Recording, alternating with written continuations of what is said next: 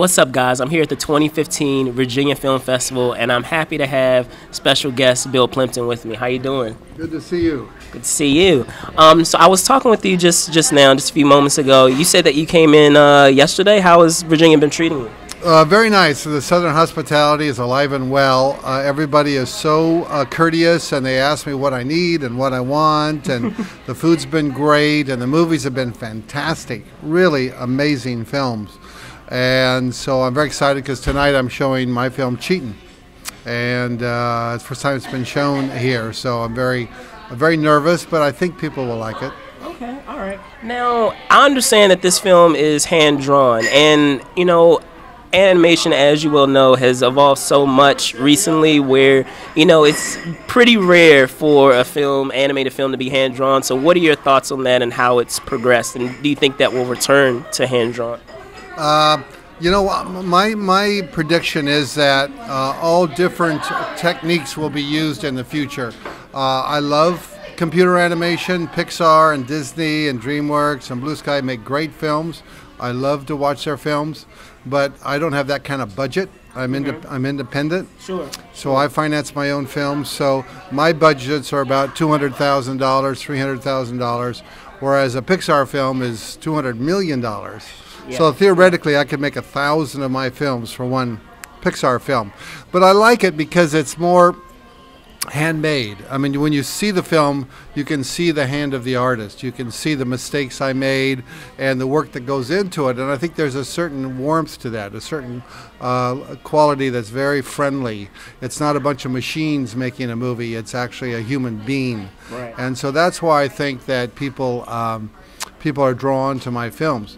But there are also other techniques that are just as popular. Uh, uh, Aardman and Nick Park films, Wallace and Gromit are claymation. Yeah, and yeah. then you have uh, Henry Selick who does puppet animation, Tim Burton who does puppet animation, and uh, there's a lot of different techniques. And I think that uh, people's love of animation, which is exploding right now, animated films are so popular in the cinemas that uh, that people want to see something different. They want to see something they've never seen before, and that's why I'm able to find an audience for my films. Okay, great. And, and can you tell me more about cheatin'? Can you talk a bit about how that story came along? Sure.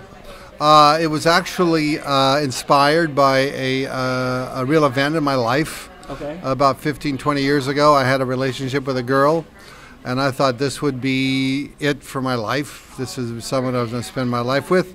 Uh, we moved in together, and after about a month or two, we were ready to strangle each other. uh, yet, I still wanted to have sex with her. I still was uh, passionate about about her. Still loved her, and so I thought that was an interesting concept for a film where the couple uh, hate each other, but yet they still drawn to each yeah other. drawn to each other mag- magnetically. And um, so this couple, uh, uh, their names are um, oh my God, what are their names? Um, anyway, they're they're they're they're trying to kill each other, but yet still they really love each other. So it's that kind of that ki- that kind of relationship, and there's a lot of opportunities for humor. There's some nudity in there. It's not a children's film. It's uh, it's definitely for adults, but it's uh, it's a film that uh, really explores relationships and uh, passion and jealousy and um, humor and surrealism. Okay. Now we, you know, we have television shows, you know, that are very adult themed in terms of, uh, with, in terms of animation. Um, is was that a concern on yours, on your part, when you were making the film that it, you know, that it would alienate anybody because of the fact that, that it's that it's such a mature subject matter, or? Yeah, that's a very important question, and it's an issue that I've been dealing with my whole life because be, because of the power and influence of Disney and Pixar. Um, the distributors believe there's no audience for a film that deals with adult ideas and Right, adult subject right, matter. But I don't care. I mean, I, I'm not rich. I don't make blockbusters. But my films are popular. I make enough money to continue making my films. I don't take government money. I don't take Hollywood money. I don't take um, corporation corporate money. I do do Kickstarters occasionally, and that's that's a big source of income.